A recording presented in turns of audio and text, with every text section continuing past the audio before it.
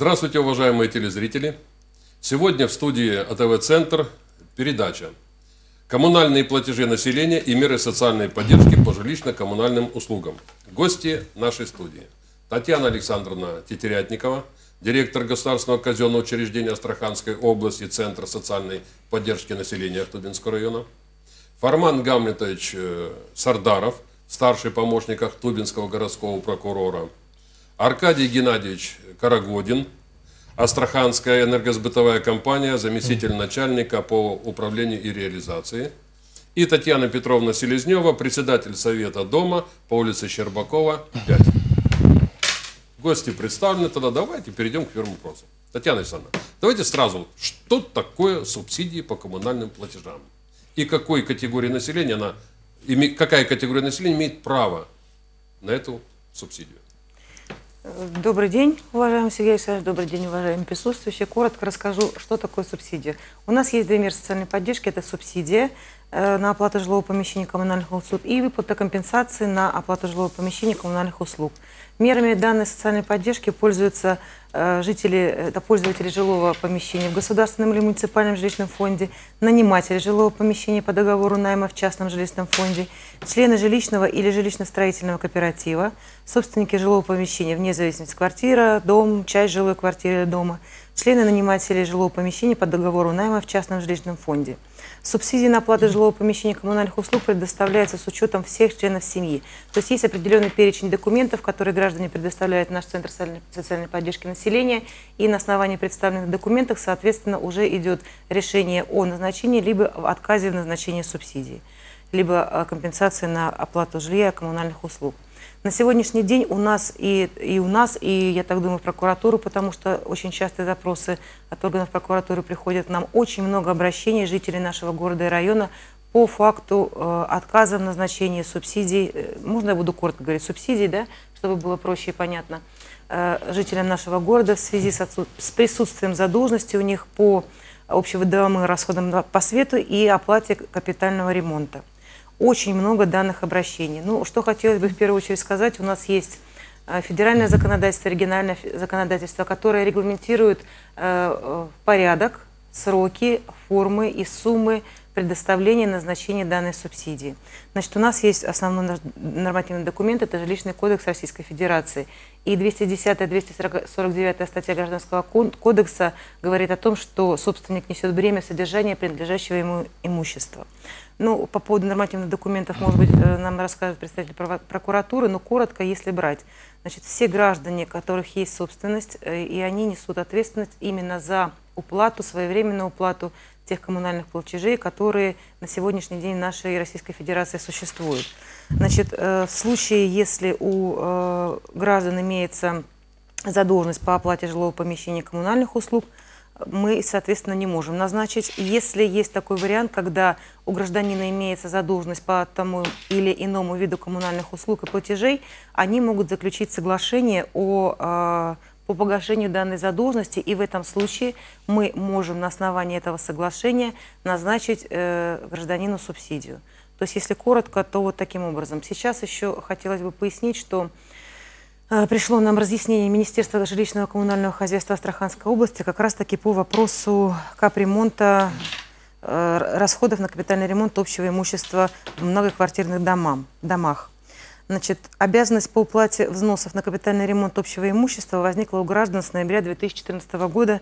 Э, и обязанность по уплате за капитальный ремонт входит в те дома, то есть появляется у тех домов, которые включены в региональную программу проведения капитального ремонта общего имущества в многоквартирных домах, расположенных на территории Астраханской области в 2014-2043 годах. То есть, если можно посмотреть, э, специально э, руководством Астраханской области создано фонд капитального ремонта многоквартирных домов, так называемый региональный оператор.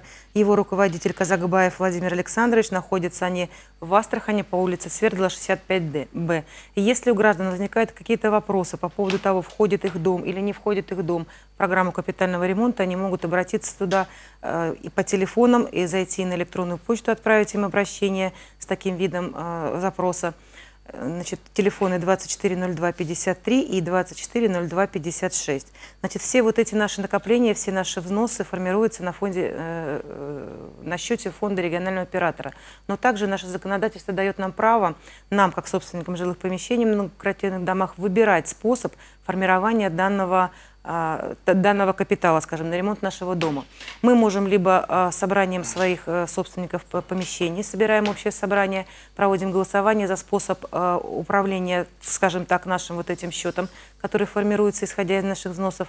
И тогда мы направляем э, официальное уведомление в фонд капитального ремонта о том, что наш дом а, собранием, общим собранием собственников жилья приняли такое решение, что мы будем формировать собственный фонд. Соответственно, там есть определенная процедура. Э, Мы создаем свой счет, открываем его в Сбербанке, уведомляем компанию, вот эту фонд э, капитального ремонта многоквартирных домов, что мы формируем сами. И сами оплачиваем себе на счет, формируем свою накопительную так, часть вот, на ремонт этого самостоятельно на своем отдельном счете. Значит, э, согласно статье 171 Жилищного кодекса, в случае формирования фонда капитального ремонта на счете регионального оператора, э, собственники помещения обязаны в сроки, установленные законом, вносить все эти денежные средства. И, к сожалению, если есть долги по данному направлению, мы в рамках межведомственных запросов, когда граждане приходят к нам, подают заявление на э, предоставление либо в отказе поддержки по субсидии, мы делаем запросы вот в этот фонд капитального ремонта. Соответственно, те дома, которые включены в программу, у нас уже сведения нет, даже гражданам не надо а, самим делать эти запросы. И мы уже видим, есть ли задолженность у данного гражданина по этому помещению или нет, и, соответственно, а, говорим о том, что в случае задолженности мы вам не предоставляем Татьяна субсидию. Александровна, вот вы как раз и о капитальном ремонте сказали дома очень хорошо. Вот скажите, пожалуйста, а капитальный ремонт дома – это коммунальная услуга или нет? Ну, в соответствии со всеми разъяснениями, которые к нам поступали, в соответствии со всеми статьями Жилищного кодекса, э, да, То есть ее правительство Астраханской области включило как коммунальную услугу, хотя это услуга по ремонту дома. да. Она Она входит как оплату за коммунальные услуги. То есть это надо бы, хотелось бы еще уточнить этот вопрос, потому что Ну, я думаю, что вот совместная сегодня наша встреча как раз-таки приведет к тому, что э, мы сделаем, мы сделали свои соответственные запросы, является или не является. Нам вот как бы разъяснение поступило из Министерства жилищного хозяйства, Астраханского, жилищно-коммунального хозяйства Астраханской области. Данное разъяснение нам поступило, соответственно, мы в- полномочны и вправе считать на основании э, разъяснений. Правительство Астраханской области, которое определяет размеры через ваш вот, э, департамент субсидии и прочее, прочее, приняло решение, что капитальный ремонт от него Входит. зависит выплата субсидий. Да. Вопрос к вам такой вот конкретный. Скажите, пожалуйста, какая часть или какая категория населения может, э, которые могут начислять субсидию? Какими нужно обладать параметрами? Это Значит, или возраст, или э, материальное положение. Нет, значит, основной параметр – это, во-первых, предоставление необходимых документов для подачи, это э, должен быть собственник помещения, да, обязательно, и это обязательно граждане, которые при расчете среднедушевого дохода являются ниже, их доход является ниже, чем среднедушевой на территории Астраханской области, включая всех членов семей, которые входят в состав их семьи. А по Астраханской области сколько сейчас среднедушевой? Сейчас э, около 9 тысяч. 9 тысяч. Точно рублей. То есть э, можно так вот э, рассуждать. Если на членов семьи среднедушевой доход меньше 9 тысяч рублей, тогда они могут собирать документы и обращаться, ну, обращаться в органы соцзащиты. да, соцзащиты. Дело в том, что э, по каждому гражданину, по каждому обращению у нас есть определенные нормативы, определенная методика расчета именно э, данной субсидии либо компенсации за оплату жилищно-коммунальных услуг. Поэтому тут каждый случай как бы нужно рассматривать индивидуально. Где-то там у кого-то получится, у кого-то не получится. А вот так вот э, навскидку здесь, в студии, можете сказать, люди, которым за 80 лет, которые получают пенсию порядка 12 или 15 тысяч рублей, они имеют право на субсидию или нет? Возраст тут абсолютно не играет никакого Никакого, значения, абсолютно. Здесь не регламентировано никакими законодательными нормативными документами. А вот именно доход, если 12 тысяч получает гражданин, то он уже не имеет права. Если он один член семьи, проживает, одиноко проживающий пенсионер, я так понимаю, волнует вас данная категория, да, и доход у, у этого пенсионера складывается около 12 тысяч, то, к сожалению, назначить субсидию мы не сможем. Вот это уже понятно. Да. Спасибо вам. Дадим вам немножко отдохнуть. Фарман Гамлетович, скажите, пожалуйста, какие вот основные сейчас вопросы возникают у населения по получению субсидий? Да, спасибо. Э, Действительно, как уже отметил руководитель э, Центра социального обслуживания населения, очень э, много обращений жителей города Ахтубинска поступает в Ахтубинскую городскую прокуратуру именно по вопросу отказа в выдаче субсидий на оплату коммунальных услуг. Это значит, данные обращения начали поступать в прокуратуру, начиная с сентября э, 2015 года и по настоящее время. Отказ э, в выдаче субсидий по коммунальным услугам именно по электроснабжению, а также по ОДН. Э, Основная часть, ну, основная масса обращений, конечно, по ОДН. Соответственно, при наличии задолженности по ОДН э, субсидия не может быть предоставлена. Это предусмотрено жилищным кодексом, статья 159. Вот. Что касается э, начисления платы э, за коммунальную услугу, услуги по ОДН, э, соответственно, здесь э, прокуратурой на протяжении нескольких лет э, значит, проводится проверка. Вот. В части начисления платы со стороны энергосбытовой компании нарушение не установлено. Почему?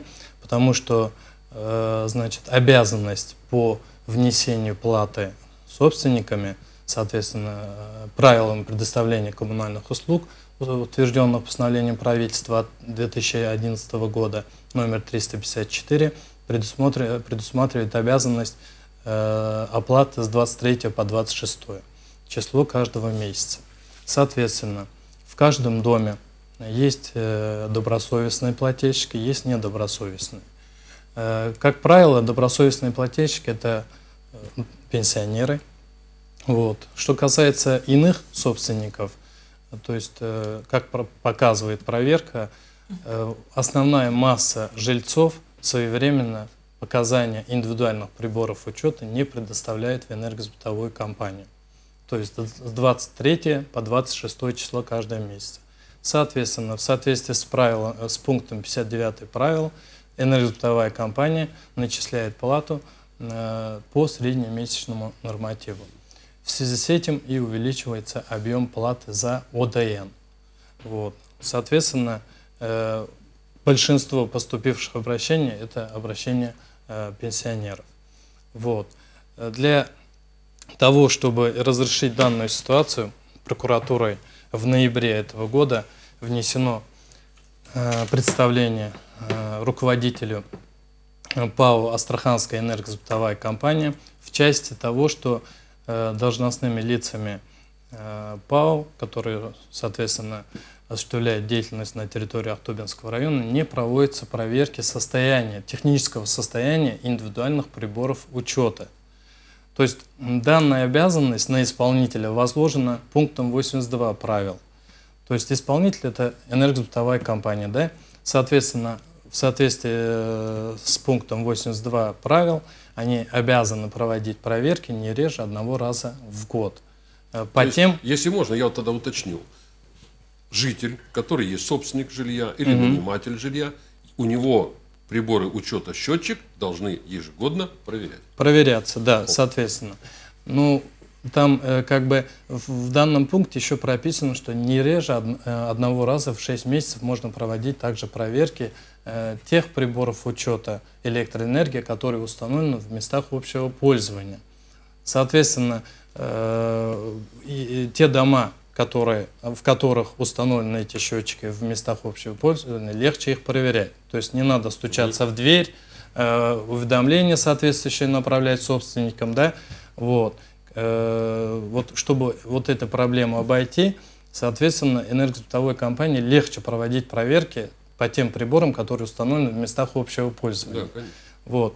Те люди, соответственно, те граждане, которые э, воруют да, электроэнергию, там, кто-то, свои, кто-то своевременно не представляет показания, у кого-то э, счетчик вообще э, не работает, да, там э, он старый, там введен в эксплуатацию в каких-то 60-х, 70-х годах, тем не менее здесь э, сложность. Э, да, энергосбытовая компания мотивирует это тем, что собственники жи- э, жилых помещений, они отказываются открывать дверь, вот, доступ в квартир э, нет, соответственно, и проводить проверку не представляется Роман возможным. Разрешите, я вас перебью. А кто не отказывается? Вот, например, много жителей, которые не отказываются.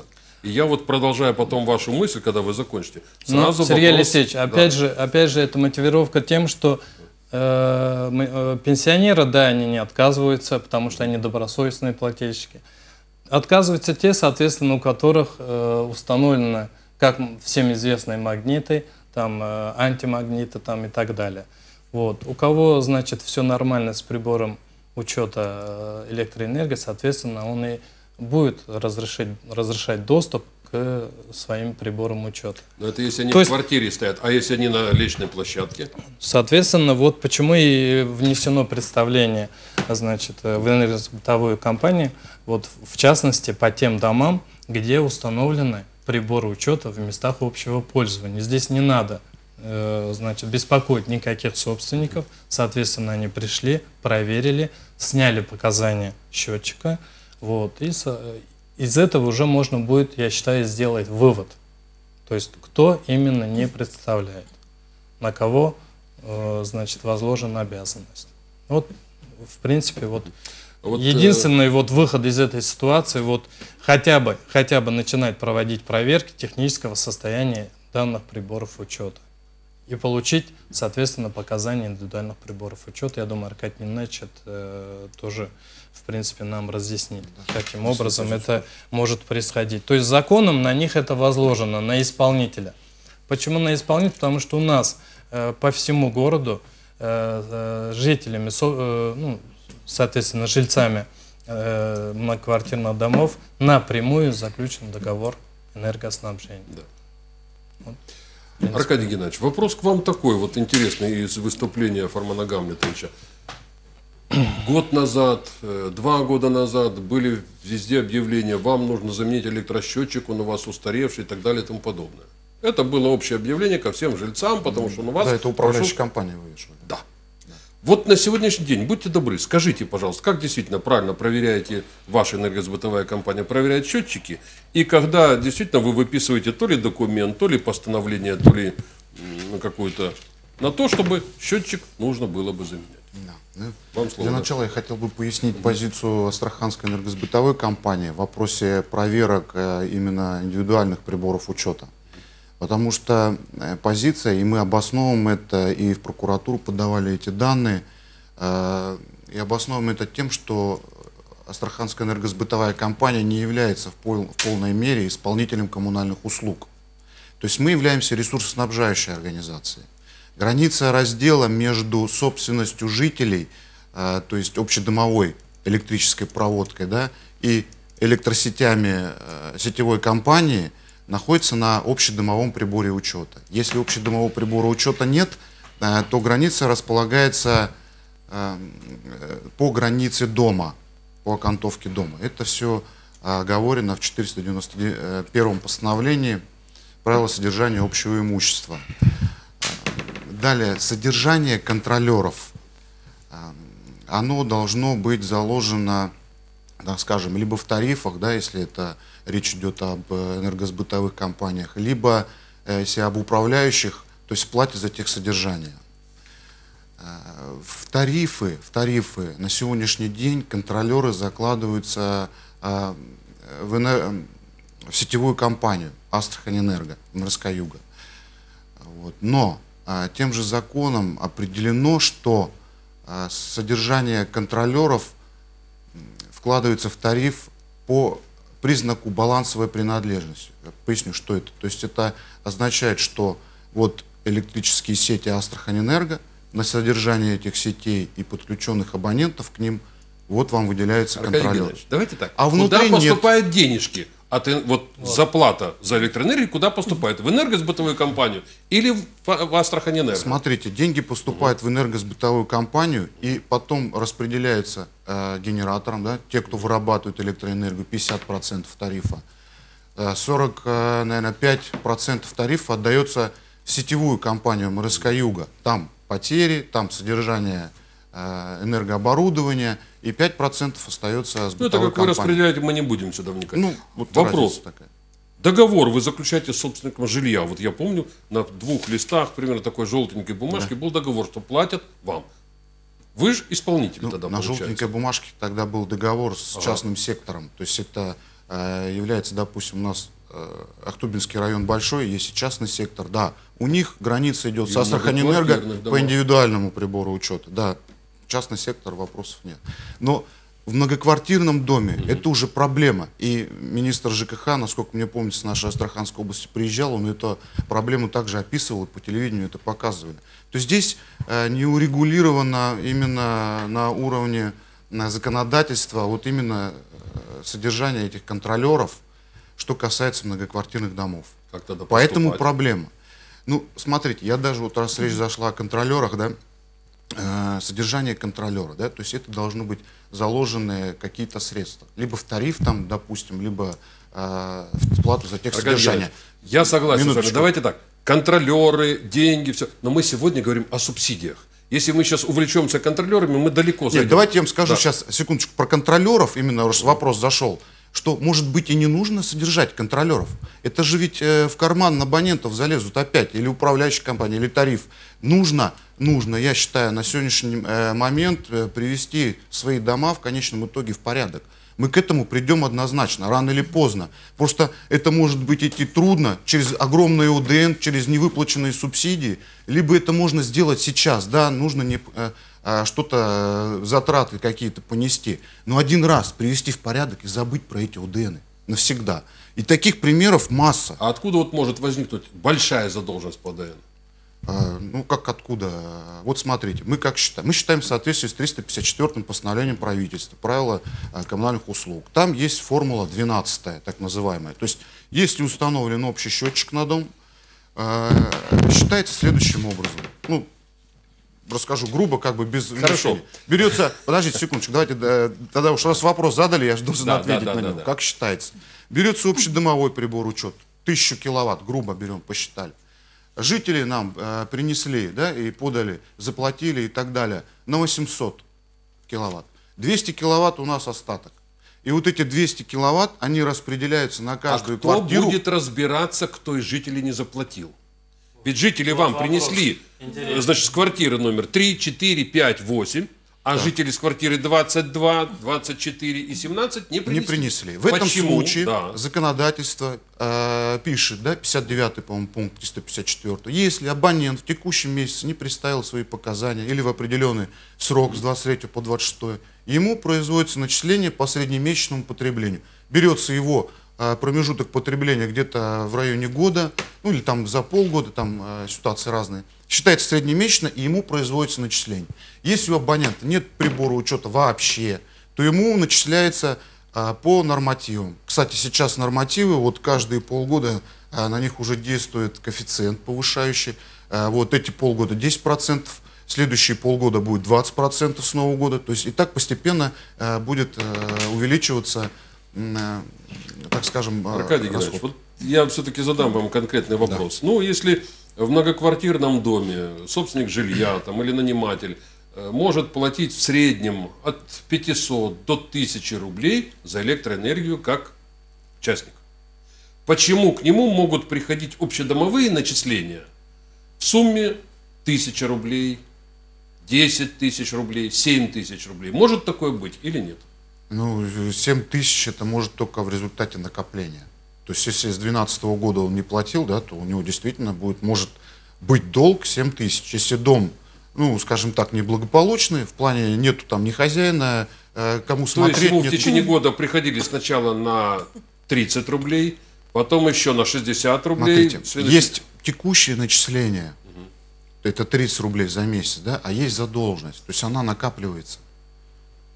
Она может по накоплению быть там, э, ну, большие цифры, может быть Уважаемые гости студии, раз мы коснулись этого вопроса и больших общедомовых начислений, давайте посмотрим сюжет. Добрый день всем присутствующим. Мой вопрос касается ОДН. Я пока ехала сегодня вот сюда на пресс-конференцию, поступило несколько звонков. А, Вчера получили квитанции за квартплату и сразу 1700 за ОДН, 2200. Но оказывается, это не самые оригинальные подарки от энергосбытовой компании. 5,5, 7 тысяч, и это не предел. Недавно у нас одному жителю города выставили 11 тысяч за ОДН. Благо он оказался чиновником достаточно высокого ранга в масштабах нашего города, который имеет опыт общения с подобными структурами, знает и умеет читать законы. А как быть простым людям, которые не знают, откуда появляются эти цифры, не, зна- не умеют побороться с энергосбытовой компанией, коммунальщики сегодня подают на суд на неплательщиков. Льготникам очень тяжело оформить в, такой, в таких условиях субсидии, ну и вообще страдают просто законопослушные плательщики. Можно ли побороть произвол энергосбытовой компании? Спасибо. Ну, вообще в такой форме неожиданный для меня вопрос, потому что мне казалось, что мы все здесь уже отрегулировали. Это было э, в прошлом году и в этом году возникало в начале года по ОДН путаницы и такие цифры. Я не знаю, что за революция там произошла в умах э, вашей компании в Знаменске, но я думаю, что поправим, тем более, что система контроля сегодня отработана. Служба жилищного, э, жилищного надзора, значит, быстренько после пресс-конференции подойдете, разберитесь туда бригаду и наведите полный порядок. Это действительно безобразие полное. Эти расчеты, которые делаются с потолка, и сегодня у нас есть телефоны горячей линии, их там несколько, там, 5 или 6, я уж не помню, когда нужно сразу сообщать. Сразу сообщать, и никакой проблемы здесь не будет. А, Это в начале было, когда они сопротивлялись, когда они, в общем-то, все издержки, которые несут от нерадивых неплательщиков или потерь, которые у них возникают, они все переводили на ОЭДН. Но мы модель и как бы, парадигму действия отработали. У нас, в общем-то, такого уже это, э, таких нештатных ситуациях редко происходит, но вам поможем обязательно.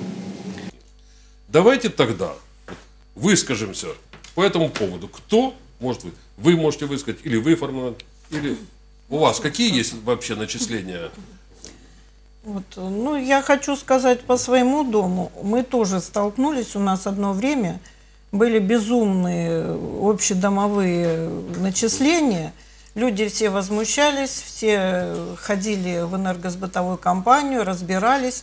Вот. Ну и в конце концов мы на собрании приняли такое решение. Вот. В первую очередь мы, значит, собрали деньги и за свой счет отремонтировали все э, коммуникации электрические. Значит, произвели замену и ремонт общедомовой, щитовой. Э, Затем э, мы, значит, выяви- выявили, у нас э, были квартиросъемщики, у которых вообще отсутствовали счетчики.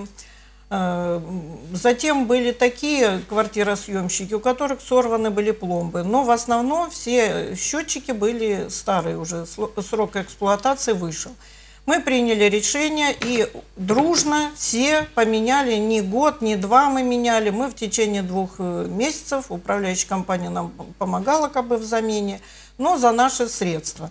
Мы поменяли, отремонтировали все щитовые, вот. э, Затем, значит, э, вторым, третьим этапом уже у нас было, мы,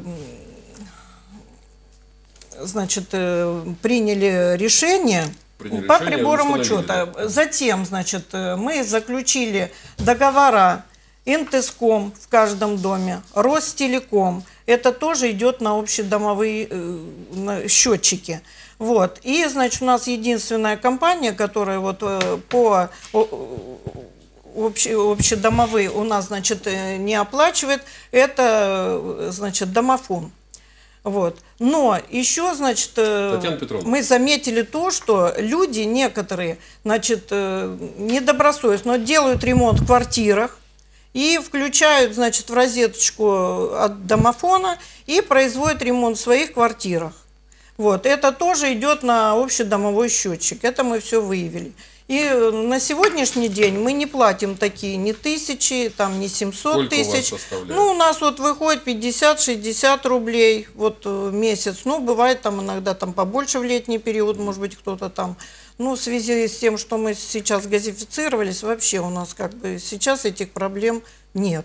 То есть у вас в таких. норме Мы общедомовое все привели в порядок. Мы все привели в порядок. Вот многие встречают меня, спрашивают, вот как вы, как вы добились, я всем объясняю, что все зависит от нас. Вот скажите, пожалуйста, а у вас есть такая вот, э, такое правило, как э, по улице Жуковского, дом 24, там каждый месяц в подъезде есть показания счетчика, выписывается, старший дома выписывает, И люди платят по этим показаниям, которые сняты человеком Да, ежемесячно. Ну, ранее я сама это все делала, но сейчас у нас вот старшие подъездов определились, и каждый месяц они снимают показания. Каждый месяц мы подаем эти показания в энергосбытовую компанию ежемесячно. Вот. И плюс еще выявляем задолжников. Ну, на сегодняшний день у нас задолжник один, единственный человек, это муниципальная квартира. Я не знаю, почему до сих пор мер никто не принимает, это уже годами люди не платят и не собираются платить. И никто... Там кто-то проживает или нет? Да, там проживает семья, вот, которая ни за что, не, она не только, она не платит ни в центр, ни, за, ни в энергосбытовую компанию, никуда. И никто мер с ними Татьяна никаких Петровна, давайте вот прямо здесь, в в эфире, я вам говорю, если это муниципальная квартира, вам нужно обратиться в муниципалитет, значит, потому что они снимают жилье, они квартиросъемщики. Муниципалитет разберется, чтобы они оплатили, не оплатили, их будут то ли Мы принимать меры. обращались. Совершенно верно. Мы обращались. Ну, это решение администрации города. Я хотел бы добавить... вот, Аркадий э, Геннадьевич, да. тогда давайте вот Татьяна мы по Петровна. сюжету все-таки. Ой, Аркадий Геннадьевич, вот скажите все-таки, могут ли быть такие, за- тут хорошо у них, могут ли быть такие задолженности в 7, в полторы тысячи рублей по общедомовым начислениям? Задолженность может быть такая. Начисление ежемесячного вряд ли. Такого невозможно. Ну, 7 тысяч, это если поделить на 4,40, там больше тысячи киловатт, ну, это не- просто невозможно. Вот. Я хотел бы допо- э, дополнить Татьяну Петровну, да, то есть она, в принципе, правильно сказала, как старший дома э, взяли в руки свой дом, навели порядок. И по вопросу УДНов, какие должны быть? Вот я сам проживаю э, в девятиэтажке, но у меня ТСЖ, правда, да, но у нас тоже есть УДНы. Вот, э, мой платеж составляет в районе 100 рублей. То есть, казалось бы, много. Но при этом у нас есть лифт, мы знаем, сколько он потребляет. Я знаю, что у нас лампочки в подъездах энергосберегающие. Я знаю, что у нас э, подкачивающий насос, чтобы тепло было э, зимой, да, чтобы помогало отоплению. То есть это в районе э, нормальном, да, там... Ну, то есть у вас вот 100 трехком- рублей, да? 100 рублей. Вот я делал выборки, да, по благополучным, скажем так, домам. Допустим, Щербакова 20, да, у них от 50 э, до 100 рублей тоже. Это дом с лифтом. Там тоже э, занимается старший дома, молодец. э, То есть он с самого начала взял в руки э, свой дом. Циолковского 8. По- Поэтому дома у нас было очень Аркадий много. Геннадьевич, Спасибо. Вот если вы перечислили пару домов, но давайте мы вернемся все-таки к субсидиям по Давайте. коммунальным платежам. Можно я Потому что, да, вот да. есть жалобы сейчас у прокурора. Вот Татьяна Алексеевна, мы говорим сегодня о субсидиях.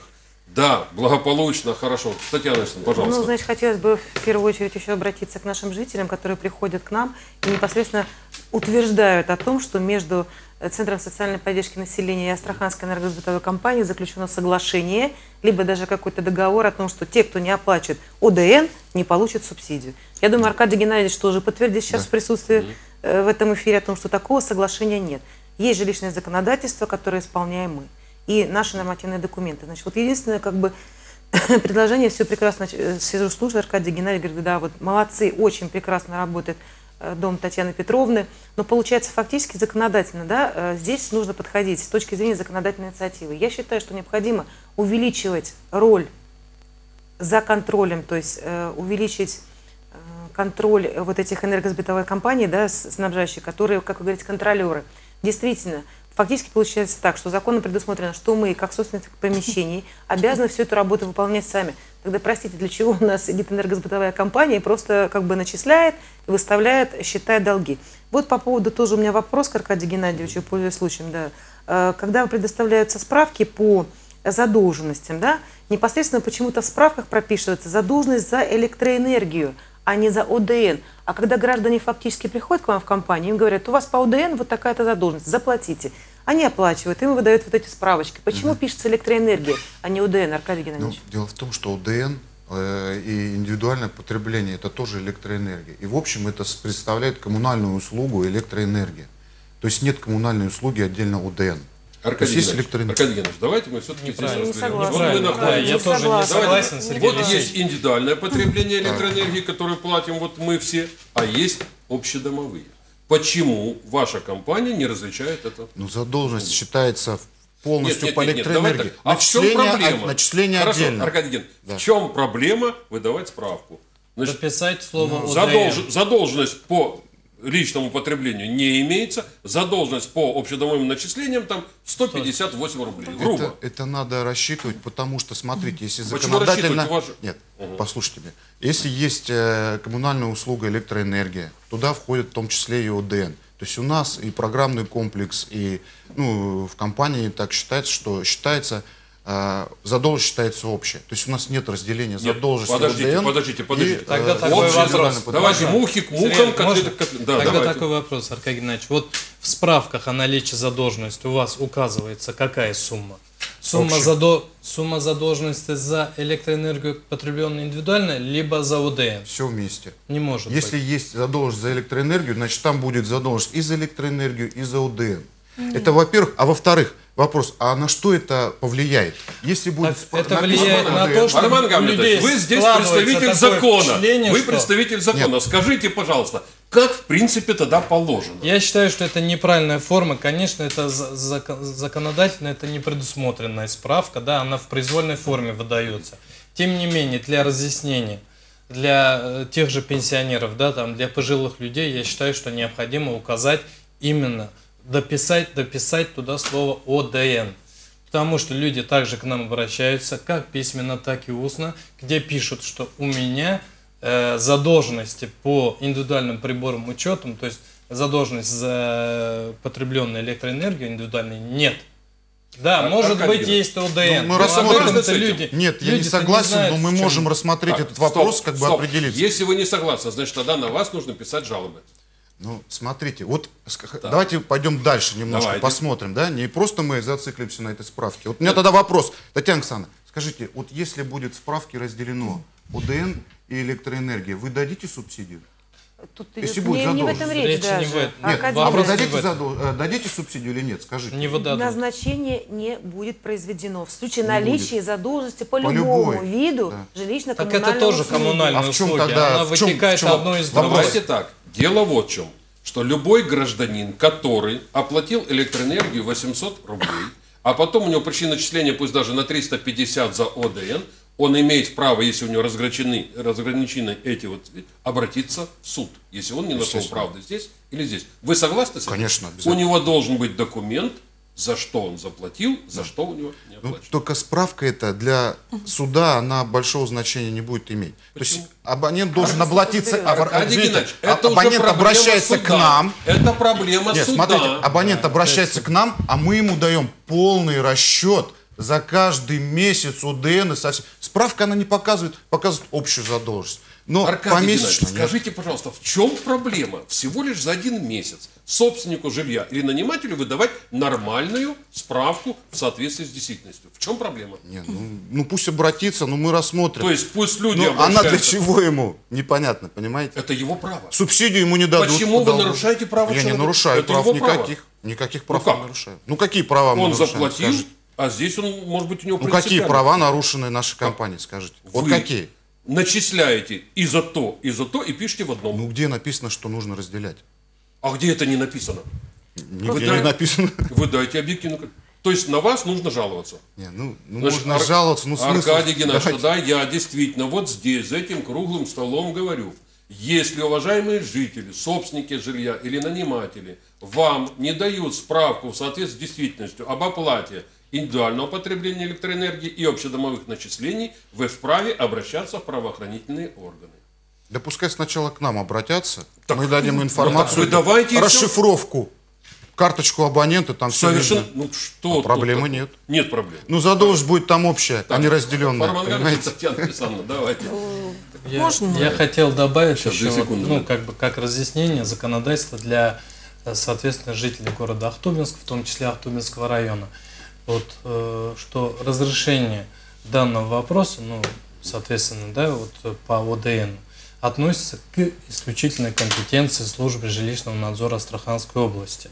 То есть прокуратура, да, это надзорный орган, соответственно, люди обращаются также и к нам, и могут обращаться, имеют на это право. Но, тем не менее, хочется довести до сведения жителей, что в первую очередь первичную жалобу необходимо направлять именно в адрес служб жилищного надзора Астраханской области. То есть, э, начиная, насколько э, мне известно, с, 14, с 2014 года у них создана специальная специальная служба, то есть имеются квалифицированные специалисты обученные, вот, которые именно разбираются в э, законности, обоснованности начисления э, значит, платы по ОДМ.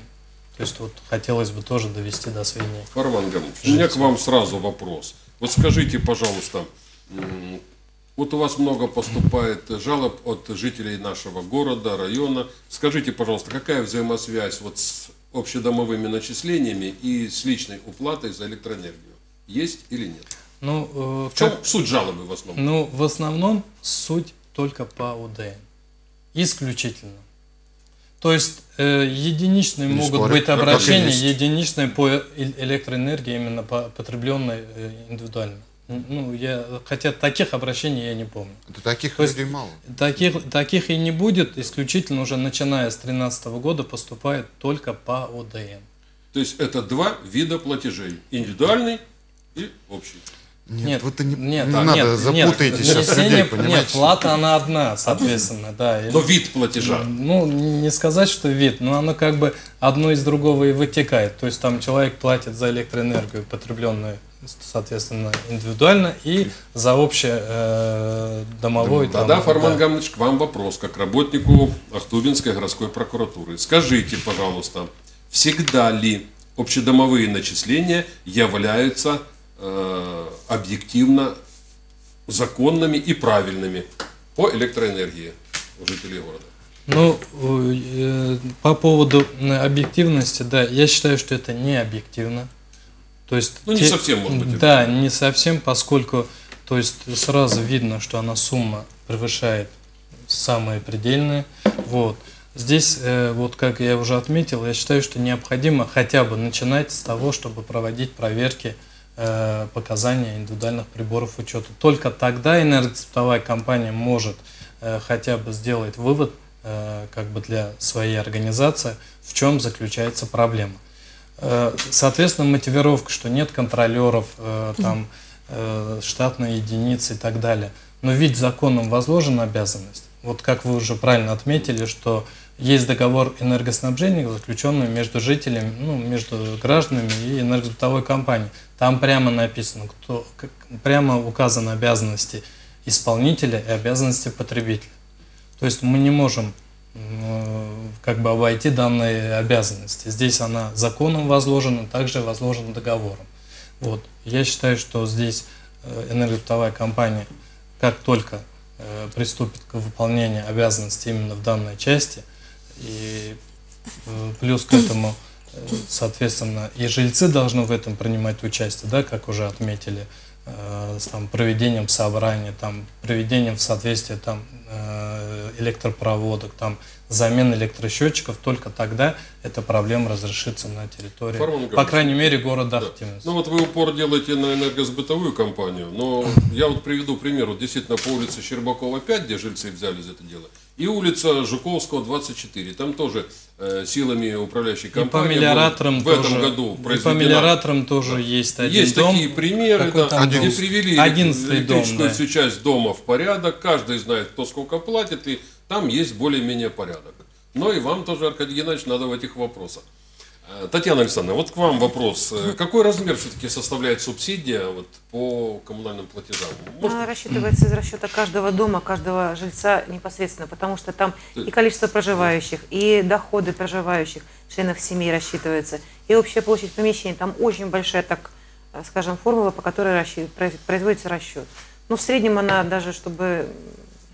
не- буду То есть у каждого индивидуально? У каждого индивидуально. У каждого гражданина, который обращается, она, она своя.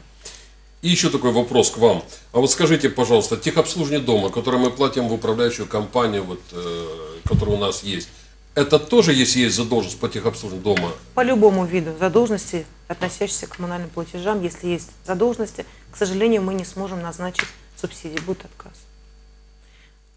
А вот Законом. Татьяна Александровна, да, и вот э, Фарман Гамович, вам сейчас, э, Татьяна Петровна, у вас какой-то вопрос, да? Да. Сейчас две да. секунды буквально. Я э, к юристам и к э, специалистам задам вопрос такой.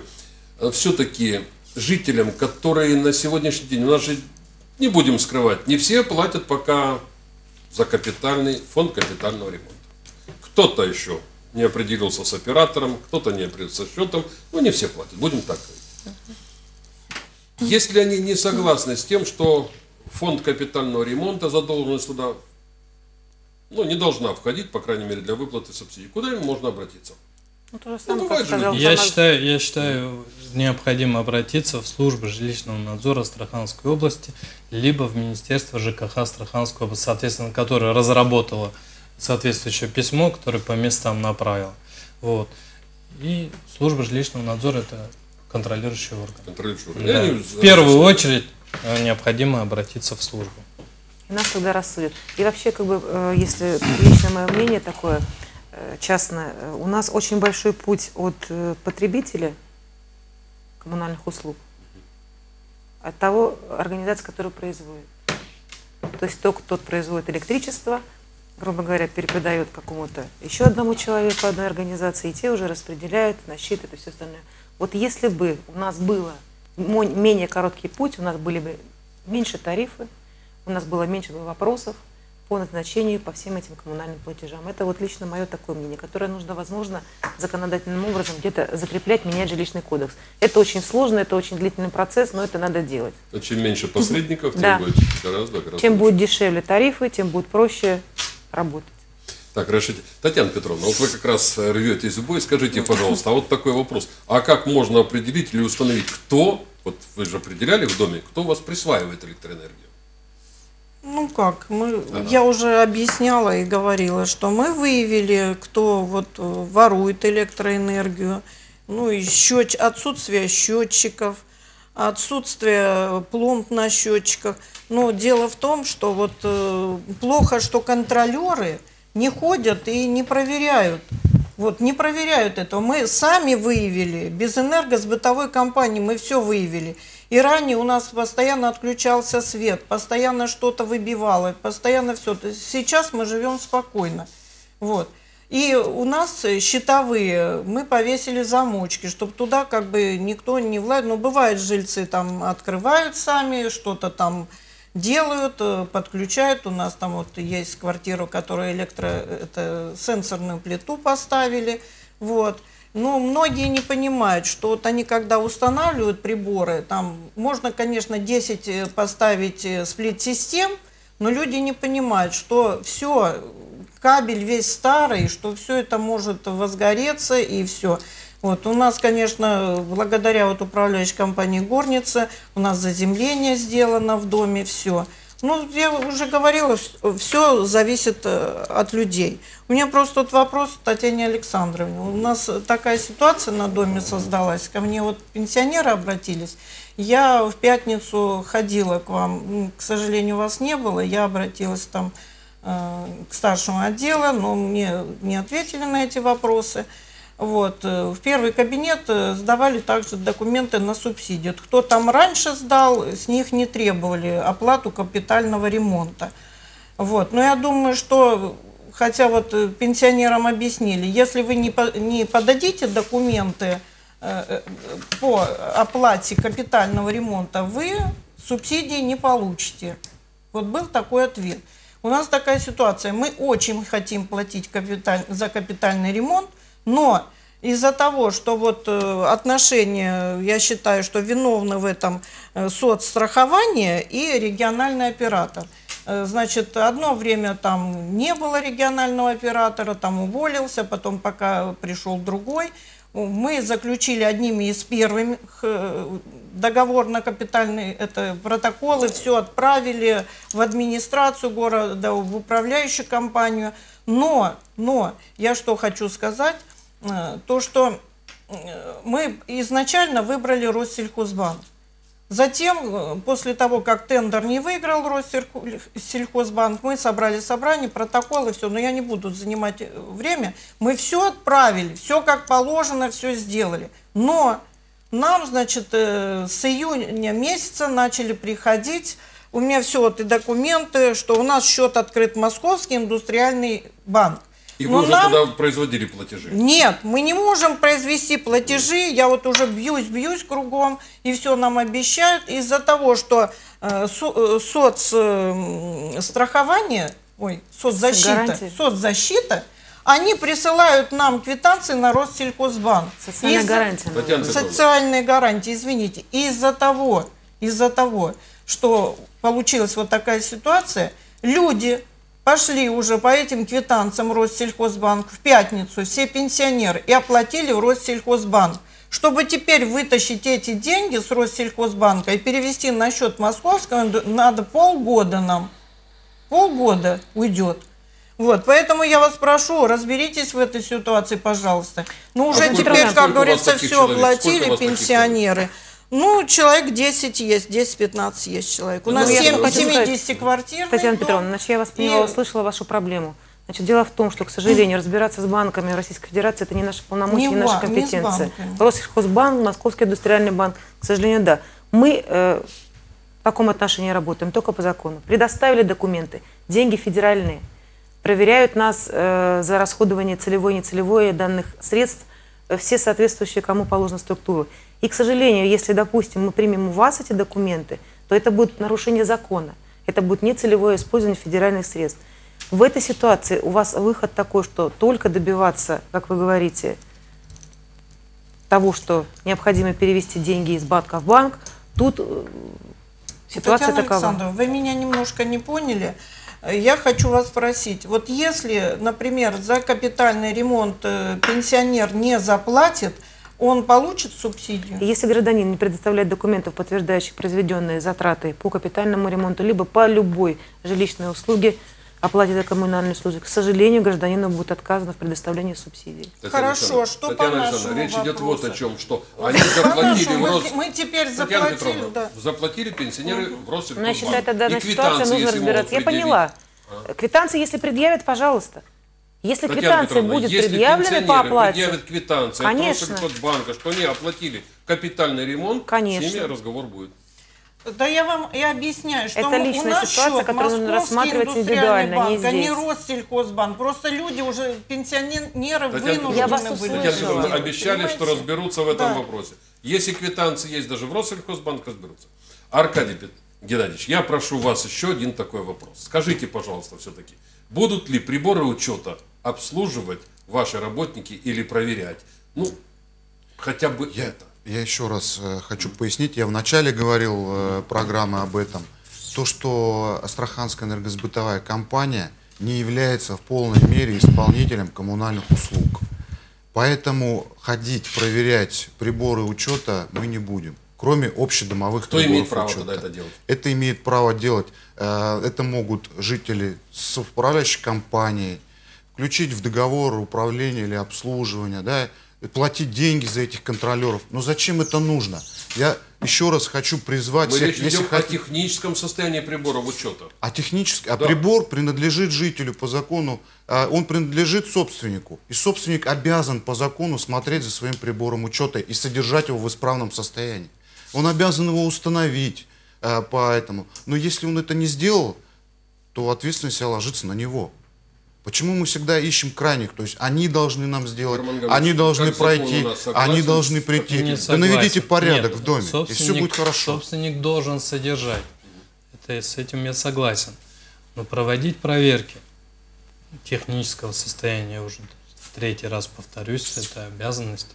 По крайней мере, как законодательно, так и, в принципе, в актах прокурорского реагирования это мы все прописали, что это возложена обязанность на исполнителя То услуг. есть, если что-то будет непонятно, вот я могу к вам подойти, Фармен Гамович, Да, соответственно, мы две- прокуратурой 19 ноября внесено представление. Представление прокурора в соответствии с законом о прокуратуре рассматривается в течение одного месяца. Как только пос- поступит ответ на данное представление, вот, э, тогда вы можете ознакомиться с его результатами. Да, будет решение Уважаемые суда, наши будет гости, вот э, наша передача должна когда-то подходить к концу. Что мы еще с вами не, посве- не осветили по коммунальным платежам и о мерах социальной поддержки э, по жилищно-коммунальным услугам? Можно Какие мне вопросы вы? к жильцам Сейчас. нашего дома? К жильцам сейчас поп- Мы пока говорим о коммунальных платежах. Ну, это коммунальных пл- платежей касается. Давайте, пожалуйста. Я просто хочу обратиться к жильцам нашего дома по Щербакова 5. Э, Я была в пятницу буквально в Московском индустриальном банке, и они пошли нам на уступку, чтобы не ждать, когда нам придут э, квитанции в конце концов. Вот, я это договорилась, что вы можете пойти с квитанциями, которые вам пришли Россельхозбанка, Московский индустриальный банк, но там вы должны сказать, что я хочу оплатить за, коммуна... э, за капитальный ремонт почерк Бакова 5 на счет Московского индустриального банка.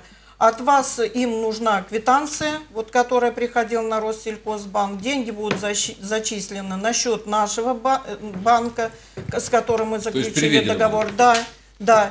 Вот. э, И э, платежи можно производить вот э, с сентября месяца, так как в августе месяце у нас заключен договор с Московским индустриальным банком. Всё, ну, спасибо, а Татьяна деньги Петровна. с Россельхозбанка уже я потом буду решать, как со счета на счет переводить. Это очень трудоемко. Татьяна Петровна, спасибо. Поэтому мы расстроены этим. Так, пожалуйста. Я хотел бы, пользуясь случаем, обратиться к жителям города и попросить их не ждать ни контролеров, не ждать э, маленьких УДНов, они сами по себе не будут такими. То есть наведите, пожалуйста, порядок в своих домах. И тогда эта проблема сама собой уйдет. Спасибо. Уважаемые наши гости, разрешите вас поблагодарить за то, что вы нашли время прийти на эту встречу. Мы с вами попробовали э, разобраться все-таки, кому могут выплачивать э, субсидии по коммунальным услугам, какие виды есть коммунальных услуг, даже коснулись многих вопросов. Спасибо вам и приходите к нам чаще, будем с вами работать. Всего вам доброго. Спасибо вам. До свидания. Спасибо, до свидания.